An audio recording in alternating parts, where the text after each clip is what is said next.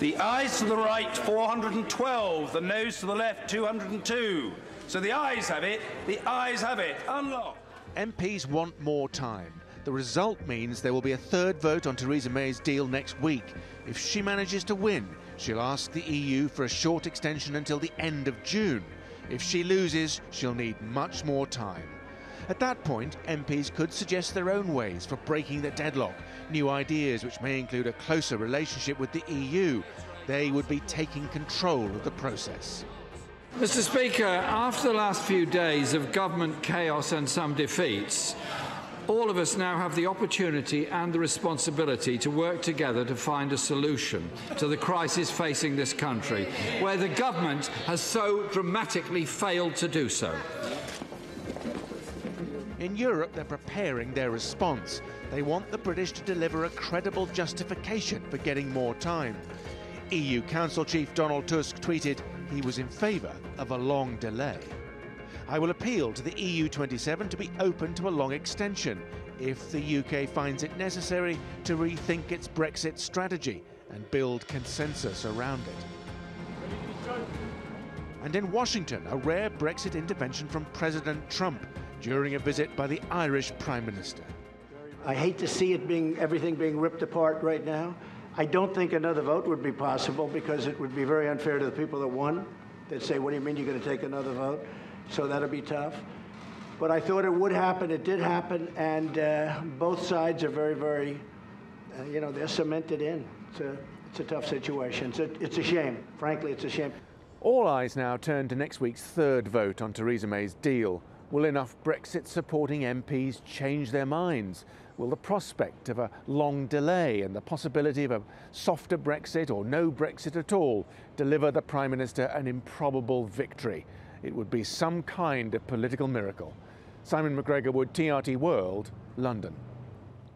For more on this, Rajneesh Narula joins us from London. He is a professor of international business regulation at the University of Reading's Henley Business School. Thank you so much for joining us here on Money Talks.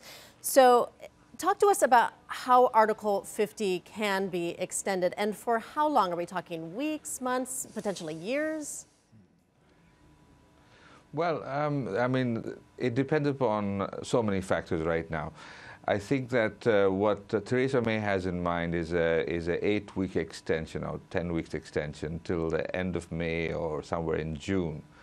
Um, that's if her deal goes through. So she's being optimistic that she's third time lucky. If, however, it doesn't go through next Tuesday, then I think the, the whole, everything's up for grabs. Uh, it, then they will need to ask for a much longer extension. Mm -hmm. The problem with asking for a long extension is that uh, uh, the EU is quite clear that they're, they're, they're all suffer, suffering from Brexit exhaustion. Uh, everyone's been talking, and we have as well, for the last couple of years. And uh, they're tired of this bickering that's going on in the British uh, Parliament and amongst the government, uh, two sides of the government. So I think they want to have a clear plan uh, from the British government saying this is what we're going to do with these two years or one year or two months.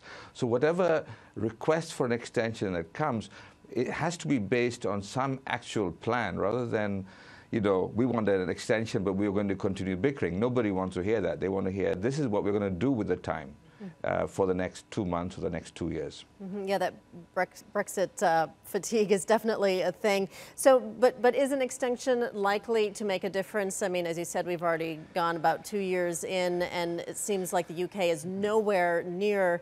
Uh, reaching a compromise on a deal. Uh, I mean, is it really even going to make a difference? Um, I think the heat of the moment uh, may help matters. I, they're trying right now, I think Theresa May is trying her best to persuade the, the Northern Irish uh, partners that she has, uh, uh the Democratic Unionist Party, uh, that she's trying to persuade them and I, I, to offering them various sweeteners to accept her, her side of the story. I think I predicted about two months ago that this will end up coming close to the wire. They will come into the 29th of March or thereabouts. And the last minute, because there's no credible alternative available, uh, she's expecting that Parliament will accept or will have no choice but to accept her, her, uh, her withdrawal agreement or the withdrawal agreement she's agreed to. Since nobody can come up with a better alternative. So I think that uh, that uh, all eyes are on Tuesday next week, and that will really determine uh, the outcome of uh, of the next year or six months or so. Mm -hmm. I know the commission, EU, EU Commission President has said he's in favor of an extension, but if the EU yeah. does refuse to allow an extension to Article 50, what are the UK's options? Um, well, uh, they have to keep re, re uh, voting on this on this on the withdrawal agreement. Uh, I, let's be clear: the EU is definitely all right with the end of May or early June, just before the elections or just before Parliament, European Parliament sits. So that's not a problem, really. That's that's fairly easy to sign off. What is a problem is whether they want two years or one year if if they don't take the withdrawal agreement. So that's going to be the, the sticking point.